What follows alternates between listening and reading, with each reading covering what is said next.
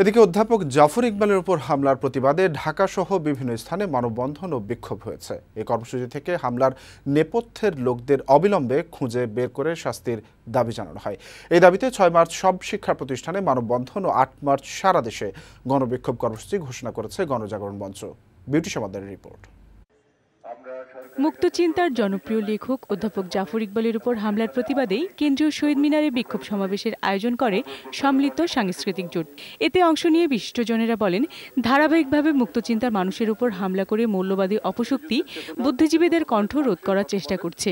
এই অপশক্তির বিরুদ্ধে সকলকে ঐক্যবদ্ধ প্রতিরোধ গড়ে তোলার আহ্বান জানান তারা। নৈরাজ্য সৃষ্টি করার জন্য এবং আবার উল্টো পথে দেশটাকে পরিচালিত করবার জন্য যেটা দীর্ঘদিন ধরে করা হয়েছে সেই একই জায়গায় ফিরিয়ে নেওয়ার জন্য এই ঘটনাগুলো ঘটা ঘটানো হচ্ছে এদিকে শাহবাগে সমাবেশ করেছে গণজাগরণ মঞ্চের কর্মীরা। এ সময় বক্তারা মৌলবাদী অপশক্তির বিরুদ্ধে সরকারকে কঠোর পদক্ষেপ নেওয়ার আহ্বান জানান।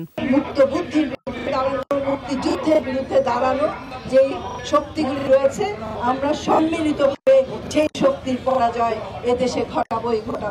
এছাড়া হামলার প্রতিবাদে ঢাকা বিশ্ববিদ্যালয় টিএসসির সামনে মানববন্ধন করেছে শিক্ষকরা। এতে যোগ দেন বিশ্ববিদ্যালয়ের উপাচার্য।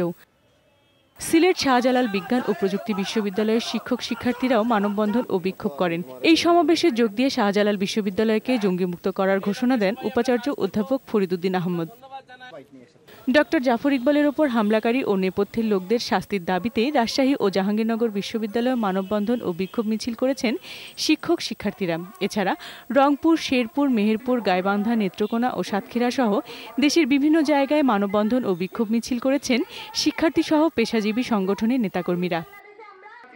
বিউটি সমাদ্দার, বৈশাখী সংবাদ, ঢাকা।